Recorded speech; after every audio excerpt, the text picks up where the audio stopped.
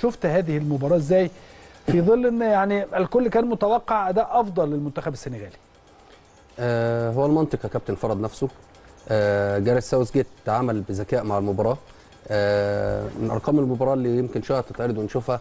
آه استحواذ آه كان ممكن المنتخب الإنجليزي ولكن فرص الأهداف كانت أكتر لمنتخب السنغال ولكن ما قدروش يسيطروا. آه يحولوا الاستحواذ ده والسيطرة بتاعتهم وفرص الأهداف بتاعتهم لأهداف ملموسة بالفعل. آه. المنتخب الإنجليزي قدر يسجل ثلاث أهداف ثلاث أهداف جميلة.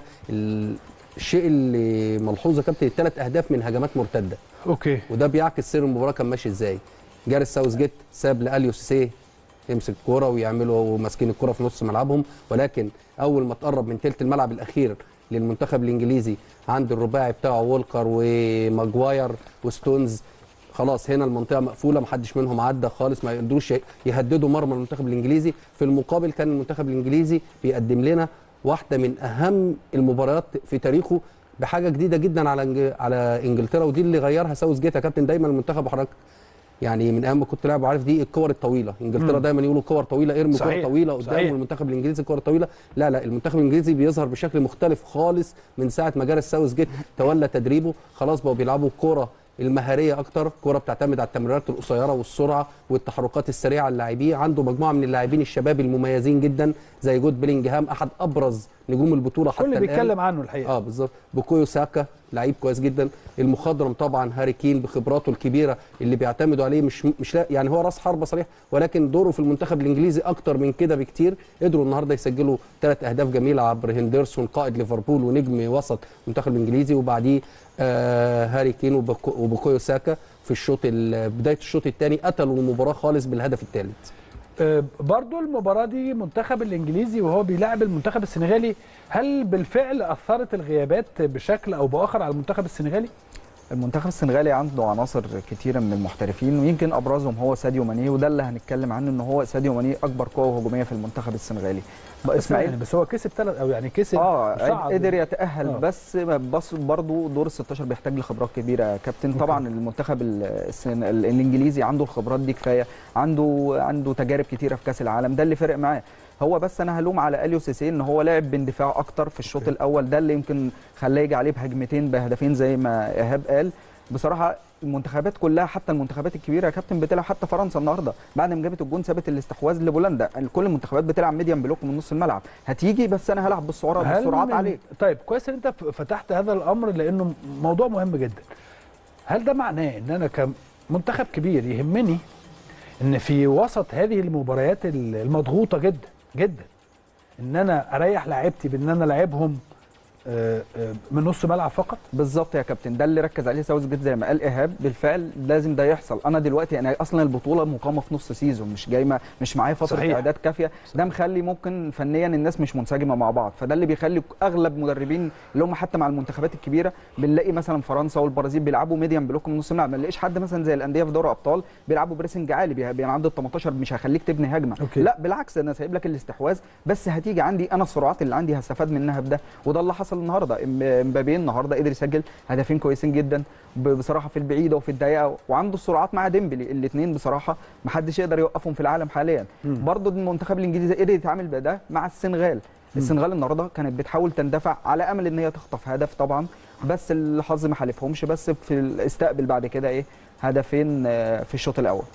طيب هل كان من الممكن يا إيهاب إن إحنا المنتخب السنغالي النهارده يستطيع أن يفوز على المنتخب الإنجليزي ولا إحنا أه، طموحاتنا كأفارقة راحت لبعيد شوية آه، يمكن منتخب السنغال ومنتخب المغرب رفعوا سقف طموحاتنا في البطولة بالظبط. ولكن كان من الأفضل يعني هو تعامل بشكل خاطئ مع المباراة آه. يعني زي مصطفى بيقول أليو سيسي أنا من بداية البطولة يا كابتن بقول ليس هو المدرب اللي يقود منتخب السنغال مع احترامي للجميع ومع احترامي لكل 12 الدول اللي عملوا يعني أو مع أكتر منتخب يمكن، بالظبط شوية يعني أكتر. كفاية قوي يا كابتن كفاية كفاية اللي أنت عملته مع منتخب السنغال لا بالعكس. ده في ناس تقول لك يعني ده مشروع المظبوط. وكمل آه مشروع ومكمل آه خلاص كمان ما بيقدمش بس جديد. العناصر اللي عنده تفيده أكتر آه آه، النهارده المباراة يعني واضح إن المدرب عاجز عن قراءة المباراة. أهم حاجة في المدرب أنت بتقرأ المباراة اللي قدامك بتقرأ الخصم اللي قدامك. المنتخب الإنجليزي ليه طريقة لعب معروفة. كان لازم وليه مفاتيح لعب معينة كان لازم يقفلها. مفيش مش عيب ابدا إن أنا ألعب النهارده zo- zone defense اقفل منطقتي وأوصل لضربات جزاء. جايز يحالفني التوفيق فيها. عندي إدوارد ميندي أحسن حارس مرمى في العالم. ممكن يفيدني في آه، ضربات جزاء ولا حاجة. إنما أنت تخيلت إن أنت بعد المباريات اللي عملتها وبعد النتائج اللافته اللي عملتها في الشوط في الدور الأول والانتصارات اللي حققتها انتصارين حققتهم إنك ممكن تكسب منتخب إنجلترا. منتخب إنجلترا منتخب هجومي شرس. يعني من أبرز ال- المنتخبات هجوميا حتى الآن عدد الأهداف اللي أحرزها حتى يا كابتن هو وفرنسا من أقوى المنتخبات الهجومية في البطولة. فما كانش ينفع يلعب قدامهم بالطريقة دي. طيب قبل بس ما ننتقل ل آم، مباراة أخرى خلينا نروح لإحصائيات المباراة. إحصائيات المباراة النهاردة لأنها كلها إحصائيات الحقيقة تقدر تورينا شكل المباراة كان ماشي إزاي والدنيا ماشية إزاي. إحصائيات المباراة هي أمام حضراتكم. يعني طبعا ثلاث أهداف بالنسبة للمنتخب الإنجليزي ال- ال- الفرص والأهداف. الأهداف المتوقعة نسبة الاستحواذ 40 آه، 60 المنتخب طب حتى نسبة الاستحواذ مش مع المنتخب السنغالي. آه.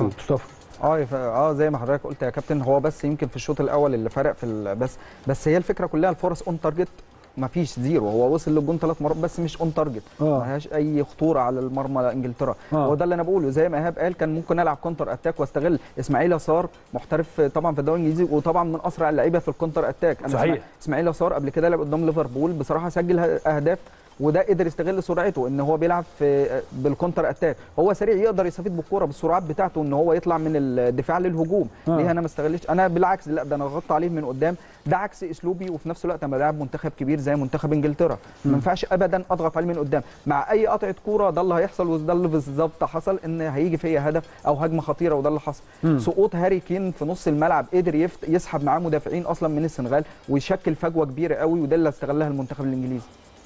بمناسبة إن إحنا بنتكلم عن هاري كين هو خد رجل المباراة. يستحق آه، طبعا. يستحق. فنيا آه فنيا هو بيقدم دور فني رهيب. يمكن أول هدف ليه ده بس ثالث assist ليه مع المنتخب. آه. آه، قدر يصنع وقدر بس فنيا بيسقط لتحت بيسقط معاه بيشتت أي دفاع في العالم. هاري كين دلوقتي قيمة كبيرة جدا وزي ما إيهاب قال مخضرم ولاعب كبير جدا ويقدر يكسر أي دفاع بال- بالعرض. اذا المنتخب الإنجليزي كان يستحق يا إيهاب إن هو يكون في الدور الثمانية. يستحق تماما يا كابتن يستحق تماما المنتخب الإنجليزي أحد المنتخبات القوية جدا في البطولة. ولكن حتى الآن ما قابلش منتخب برضه نقول إيه top 1 بالظبط. هو ده اللي يعني أنا هي آه المعركة الكبرى هي المعركة دور الثمانيه مع المنتخب الفرنسي حامل اللقب أبطال العالم. هنا هنقدر نقول المنتخب الإنجليزي هل هيقدر هل هو فعلا مرشح للقب؟ زي ما قالوا قبل البطوله وزي الترشيحات أحد المنتخبين المرشحين ال squad بتاعه كابتن هو اللي رشحه للقب يعني وخلي بالك إن جاريث ساوثجيت الماتش ده عمل شيء مهم جدا. دفع من البداية بفيل فودن أنت زي ما حضرتك متابع الفترة كل الأيام اللي فاتت في انتقادات قوية جدا لساوثجيت عشان النجم الكبير جدا بتاع مانشستر سيتي فيل فودن إزاي حطه على الدكة وإزاي فودن ما بيلعبش ونجوم جولين. إنجلترا القدام بينتقدوه. ليه فودن ما بيلعبش؟ النهارده رد حط ده كله خلاص هو بدأ يخش أكتر في أجواء البطولة يعتمد على اللعيبة اللي ممكن تخلص معاه اللعيبة المتألقة. فدفع من البداية بفيل فودن النهارده كابتن كان الثلاثي الهجومي متميز جدا في منتخب نعم. يعني نعم. فودن وهاري كي- كين جنبيه ووراهم بيلينجهام عاملين شغل وبوكايو ساكا طبعا قدام هو كمان. فكان ثلاثي قوي جدا. حتى الاحتياطي بتاعه عنده راشفورد وعنده لعيبة تقيلة جدا. فهو squad squad عالي. squad عالي. squad يرشحه إنه ممكن ياخد البطولة. بس ده إمتى هنقوله؟ من المباراة المقبلة مع منتخب فرنسا. وهتبقى ماتش على فكرة يا كابتن ماتش سرعات قوي جدا. بين المنتخب وال- آه طبعا. طيب. حتى الان فرقتين من أقوى الفرق على صعيد السرعة.